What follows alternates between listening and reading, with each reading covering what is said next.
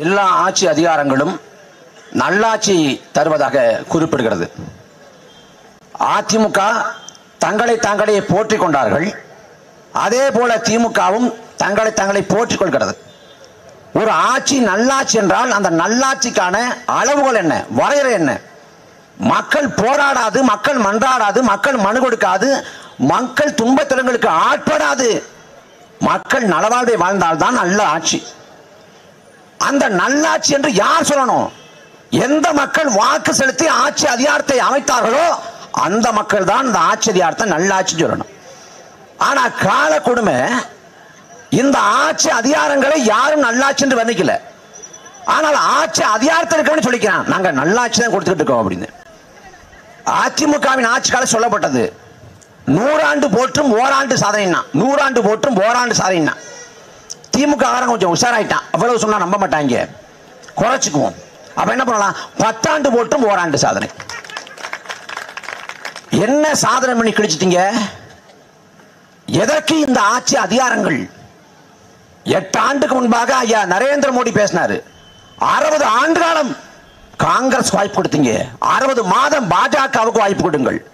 நாங்கள் நாட்டை பாலாரும் தேனாரும் கரைபண்டு ஓடச் செய்கிறோம். வறுமை எளிமையை ஒழிக்கிறோம். நான் ஏழைத்தாயின் மகன். வறுமை உணர்ந்தவன் ஏழ்மை உணர்ந்தவன். கருப்பணத்தை ஒழிப்பேன். நிர்வாகத்தை சரிவர நடத்துவேன் என்று முழக்கங்களை முன்வைத்தார் நரேந்திர மோடி. எட்டாண்டுகள் ஆட்சியின் விளைவு. என்னாச்சு? நாம் பிச்சைதான் எடுக்கல.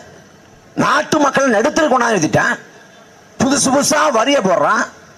வரியை ஏற்றி கொண்டே இருக்கான் ஜிஎஸ்டியை வந்து உலகத்திலே அதிகப்படியான விழுக்காடு யார் வாங்குறான்னு பார்த்தா இந்தியா தான் வாங்குது. இருபத்தெட்டு விழுக்காடு. இன்னைக்கு இருபத்தெட்டு விழுக்காடு வரைக்கும் வரி வாங்குற. வரி விதிப்பு முறையை மாத்துற. மக்களுக்கு என்ன பயன்? இந்த வரி விதிப்பு கொள்கையால அரசுக்கு பணம் வருது. மக்களுக்கு என்ன கிடைக்குது? என்ன கிடைக்குது? யாரோட வசதிக்காக ஜிஎஸ்டி கொண்டு வர்றான் உள்நாட்டு வெளிநாட்டு பெறும் முதலாளிகள் இந்தியா முழுக்க தொழில் தொடங்குவதற்கு ஏதுவாக ஒரே வரி விதிப்பு கொள்கை. அதான் ஜிஎஸ்டி இதுக்கும் நாட்டு மக்களுக்கு எந்த இதுவும் இல்லை. நாட்டு மக்களுக்கு எந்த பயன்பாடும் வரப்படுறதில்லை கடைசியா சுடுகாடு வரைக்கும் வரி போட்டான்னு சொல்றாங்க. எப்பேற்பட்ட கொடுங்கோல் ஆட்சி கேடுகட்ட ஆட்சி பெட்ரோல் டீசல் விலையை ஏத்தி கொண்டே இருக்கான். என்ன சொல்லியிருந்தா? பாகிஸ்தானுக்கு போடணும் எதை கேட்டாலும் பாகிஸ்தானுக்கு போடணும் இப்போ பார்த்தா பாகிஸ்தானில் பதினெட்டு ரூபாய் நாற்பஞ்சு ரூபாய்க்கும் குறைச்சிட்டான் பெட்ரோல் டீசலுக்கு உண்மையிலேயே பாகிஸ்தானுக்கு போயிடலாம் போல இருக்கு. எப்பேற்பட்ட ஆட்சி அதிகாரம் அறுபத்தி ரெண்டு ரூபாயில இருந்துச்சு. காங்கிரஸ் ஆட்சி காலத்தில். போராடின இதே பாஜக. இந்த அரசு நிர்வாக செயல்திறன் இழந்துவிட்டது. நாங்கள் ஏற்க முடியாது. போராடினார்கள் பாஜகவின் தலைவர் பெருமக்கள். தொடர்வண்டியை மறைத்தார்கள் சண்டையிட்டார்கள். அன்னைக்கு நாடு முழுக்க போராட்டத்தை முன்னெடுத்தது பாஜக.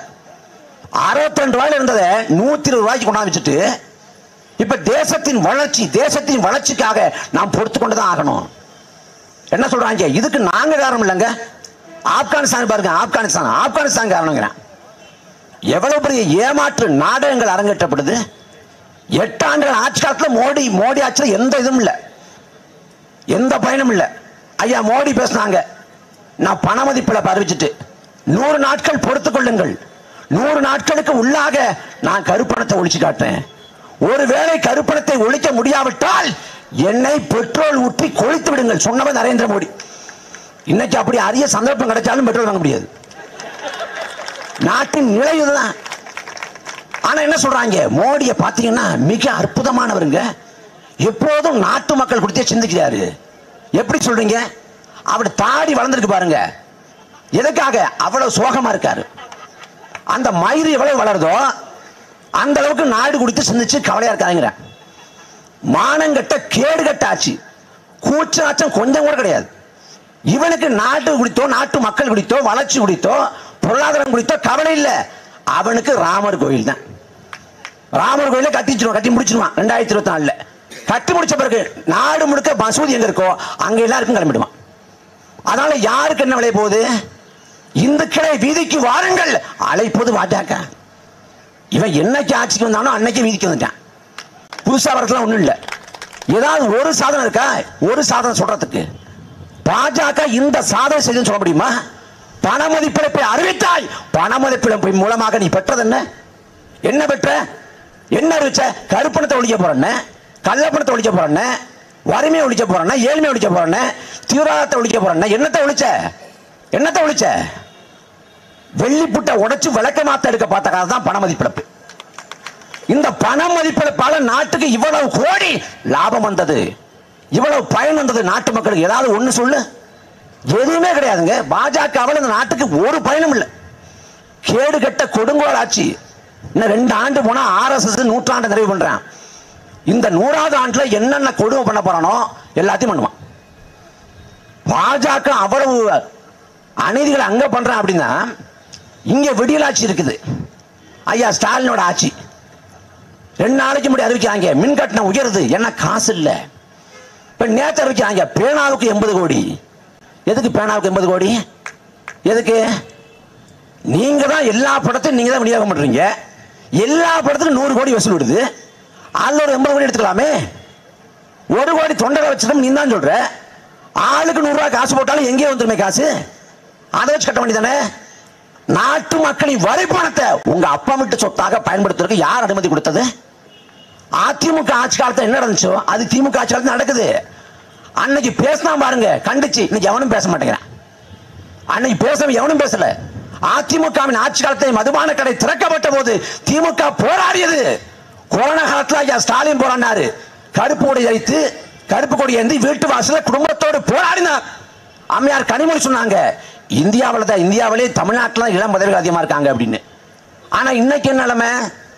இன்னைக்கு டாஸ்மாகில் பஞ்சாவது வைக்கிறாங்களா தீர்த்தம் வைக்கிறாங்களா? ஏன் மதுபான கடை மூடல பூட்டை இல்லையா?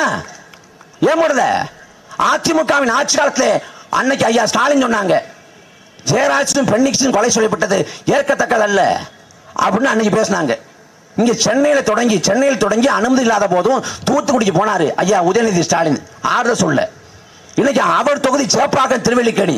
அந்த திருவள்ளிக்கணியில விக்னேஸ்வர இளைஞன் அடித்து கொலை செய்யப்பட்டு காவல்துறை முன்னிலையில எரிக்கப்படுறான். வாய் திறந்தாரா? சேப்பாக்கம் செல்வரா வாய் திறந்தாரா? பேசினாரா? எதுவும் இல்லை. ஆனால் கொஞ்ச நாள் கழிச்சு ஐயா ஸ்டாலின் சொல்கிறாங்க நான் ஜெய்பீம் படம் பார்த்துட்டு மூணு நாள் தூங்கலை. ஏன் உங்கள் வீட்லேயும் கரண்ட் இல்லையா? என்ன கதை சொல்கிறீங்க ஏழு எட்டு பேரை கொண்டுட்டான் காவல்துறை. அந்த மனத்துக்கான நீதியை பெற்றுத்தர துப்பு இல்லை. ஆனால் இங்கே வெற்று வசனம் பேசுறது. இப்போ என்னன்னா ஸ்டாலினை புகழ்ந்துக்கிட்டே இருக்காங்க. அவர் எப்படிப்பட்ட தெரியுமா? ரொம்ப பயங்கரமானவர். இந்த இலை வீட்டுக்கு போனீங்கன்னா பணம் அழுவாது. பணத்தில் இருக்கவன் இருக்கும் இருக்க அழுவான். அந்த கதையை ஸ்டாலின் தான் பேசல எல்லாரும் பேச வர்றாங்க கேடு கட்ட ஆட்சி சொத்து வரியை உயர்த்திருக்க யார் பாதிப்படுகிறா? இந்த மக்கள் தானே பாதிப்படுகிறா? மின் கட்டத்தை ஏற்றிருக்க யார் பாதிப்படுகிறா? மக்கள் தானே பாதிப்படுகிறான் என்ன ஆட்சி நடத்துற என்ன நிர்வாகம் நடத்துற? சட்ட ஒழுங்கு தமிழ்நாட்டில் சிறப்பாக இருக்கேன் என்ன சட்ட ஒழுங்கு கிழிக்குது? கள்ளக்குறிச்சியில் அந்த மாணவி இறந்து போனார். அந்த மாணவி இறந்து போன இந்த மர்ம மரணம் கொலை. அந்த கொலையில திமுக எடுத்த நிலைப்பாடு சரியா? அங்க வந்து பயங்கரவாதி உள்ள வந்துட்டான். சமூகவாதி உள்ள வந்துட்டான். அவன் தான் எரிச்சிட்டான் அதுவும் மகேஷ் பொய்யாமலி சொல்றாரு. போராடுறவங்க போய் இந்த தாளை சான்றிதழை ஆவணத்தை எரிக்கலாமா உங்களெல்லாம் எரிக்காம விட்டானே சந்தோஷப்பட்டுக்க வேண்டியதான் ஒரு மரணம் இல்ல. தொடர்ச்சியான மரணம் தொடர்ச்சியான மரணம். பள்ளிக்கூடங்களுக்கு பிள்ளை அனுப்புனா அங்க பாலியவன் குடும்பம் பாலியல் சீண்டல் அங்க தாக்குதல் கொலை தற்கொலை நடக்குது. பார்த்து பார்த்து மனம் புழிஞ்சி போய் புழுங்கி போய் விரும்பி போய் வேறு வழியற்ற சூழல்ல அவன் போராடுறான். எவனுக்கும் தன்னலம் இல்லை. அவன் வந்து தங்கச்சி நம்ம தங்கச்சி வந்து போயிட்டான் போராடுறான். அவன் போராட்ட முறை தவறாக இருக்கலாம். சட்டத்துக்கு விரோதமாக இருக்கலாம். அவன் நோக்கம் முடியமானது அவனை வந்து வன்முறையாளன் சொல்லி எரிச்சு விட்டான்னு சொல்லி தனியார் பள்ளி கூட்டமைப்பு சேர்ந்த ஒருத்தர் நந்தகுமார்னு பேர். அவர் சொல்றாரு அந்த பள்ளியை சேதப்படுத்திட்டாங்க. நாங்கள் சும்மா இருக்க மாட்டோம். தமிழ்நாடு முழுக்க போராட்டம் பண்ணுவோம்னு. கும்பகோணத்தில் ஒரு தனியார் பள்ளிக்கூடம். எந்த அடிப்படை கட்டமானமும் இல்லை. முறைகேடாக அங்கே லஞ்சத்தை வாங்கிட்டு அங்கே அனுமதி கொடுத்துட்டேன். அந்த பள்ளியில் தொண்ணூற்றி நாலு குழந்தைகள் கும்பகோணத்தில் எரிஞ்சு போச்சு. ஒரு தனியார் பள்ளிக்கூடத்தில். இன்னைக்கு தனியார் பள்ளி கூட்டமைப்பு வந்து நாங்கள் போராடும் சொல்லுதில்ல? அன்னைக்கு எங்கே பிடுங்க போயிடுச்சு? அங்கே இன்னைக்கு எங்கே போனேன் இந்த இது மொத்தமாக இந்த கல்வியை தனியார்கிட்ட கொண்டு போய் நிறுத்தினா கடைசியில் இங்கே தான் வந்து நிற்கும் அப்போ இங்கே பேசுபொருளாக மாற்ற வேண்டியது கல்வியை தனியார்கிட்ட இருக்கக்கூடாது தான் பேசணும். ஆனா எப்படி கொண்டு போயிட்டான்னா அங்க சமூக உள்ள வந்துட்டான். அப்படின்னு சொல்லி தேடி தேடி கைது பண்றான். என்ன பயமுறுத்துறான்? ஜெயிலுக்கு போறியா? வழக்கு போறானா வாழ்க்கை போயிடு. என்ன வாழ்க்கை போய் கிழிக்க போகுது? ஜெயிலுக்கு போன வாழ்க்கை போயிடுமா? என்ன வாழ்க்கை போகுது? இந்த நாட்டின் விடுதலைக்காக காமராசர் சிறைக்கு போனாரு வாவு சிறைக்கு போனாரு. வாழ்க்கை போயிடுச்சா? வரலாற்று நாயகர்களாக இருக்காங்க இருக்காங்க முன்னோர்கள். இந்த ஆட்சியில கூட்டம் நடத்த முடியலங்க. தமிழ்நாடு முழுக்க தமிழ்நாடு முழுக்க எந்த ஊருக்கு போனாலும் ஏதாவது இளவ கொட்டுறான் ஒரு போலீஸ்காரன். திண்டுக்கலுக்கு போனா ஐ பெரியசாமியை பேசாத. ஐ பெரியசாமியும் பேசிட்டு பேசிட்டு போலீஸும் சேர்த்து பேசியாச்சு. நெல்லைக்கு போனா அங்க போலீஸ் அங்க சொல்றேன் மோடியை பேசாத ஸ்டாலினை பேசாத. அங்கேயும் மோடியும் பேசிட்டு ஸ்டாலினையும் பேசிட்டு போலீஸ் நாடு ஏறி ஏறி விட்டு அங்க வந்தா அப்புறம் இந்த பக்கம் சோழார்பேட்டைக்கு போனா அங்க ஒன்பது மணி எடுத்துருங்க. என்ன வேலை உங்களுக்கு? என்ன வேலை? உங்களுக்கு கொடுக்கப்பட்ட சம்பளத்துக்கு ஏத்த வேலை பார்த்தா மட்டும் போதும். எதுக்கு தமிழ்நாடு காவல்துறை இந்த வேலையை பார்க்குது? எந்த ஊருக்கு போனாலும் செய்யாறுல ஒரு பத்து காவலி போய் தான் பத்து பேர் தான் தூக்கி உள்ள வச்சிருந்தான்னா போயிருப்பான். அந்த சூழலை திட்டமிட்டு கலவரமாக மாத்துங்கிறது தான் அந்த வேலை பார்க்குறேன். இப்போ நாங்கள் ஒன்றே ஒன்று சொல்கிறோம் நாங்கள் ரொம்ப அகிம்சைவாதிகள் ஜனநாயகவாதிகள். அமைதியாக இருப்போம்.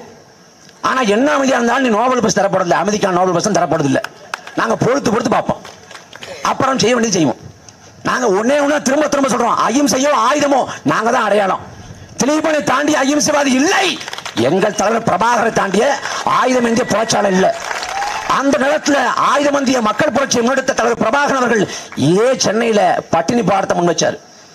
களமும் காலனும் சூழலும் தான் தீர்மானிக்கும். நாங்க எதை எந்தனும்னு நீங்க அடிக்க வருவீங்கன்னா அடிச்சு ஓட விட தான் வேலையா இருக்கும். நாங்க வாங்கிட்டு இருக்க முடியாது. வழக்கு தானே போடுவேன் குண்ட சட்டம் தானே போடுவேன் குண்ட சட்டம்னா அறுபது நாளில் வெளில வந்துடலாம் அனுபவம் இருக்கு. அதனால நீங்க சிறையில தூக்கி போடுவீங்க வழக்க போடுவீங்க எல்லாத்துக்கும் தரத்தான் இருக்கும். நாம சண்டை போடணும். அந்த போராட்ட முறை எப்படிங்கிறத களமும் காலம் தீர்மானிக்கட்டும். ஷேகுவரால் முழக்கத்தை முன்வைத்தது போல மக்களுக்கான போராட்ட களத்தில் சமரசமற்று போராடுவோம். இந்த போராட்ட களத்தில் நாங்கள் வென்றுவிட்டால் மக்களோட மக்களாகின்ற மகிழ்வோம். வீழ்த்தப்பட்டால் வரலாற்றி வாழ்வோம்ங்கிறேன். அதே சேவா சொல்றான் நம் சாவு ஊர்வலத்தை போர்படை முழங்கும் என்றால் போர்க்கோள் ஒழிக்கும் என்றால் நாம் விட்டு வைத்த ஆயுதத்தை இன்னொரு கரம் பற்றி எடுக்கும் என்றால் அதே உத்வேகத்தோடு அதே லட்சிய முழக்கத்தை ஏந்தி புதிய இளைஞர் கூட்டம் திரளும் என்றால் அந்த சாவுக்கு தர இருக்குங்கிறேன் வங்காரி மாத்தாங்கிற போராளி தாய் சொல்றா மக்களை அரசியல் படுத்தாது மக்களை அணிதிரட்டாது. இந்த வளங்கள் யாவும் மக்களுக்கு சொந்தமானதுங்கிற புரிதலை உருவாக்காது. இந்த வழக்கொள்ளையை தடுக்க முடியாதுங்கிற. நாம் போராடுவோம். இந்த மண்ணை மக்களை காக்க போராடுவோம் மீட்க போராடுவோம். எதிர் வந்தால் எதிர்கொள்வோம். நன்றி வணக்கம்.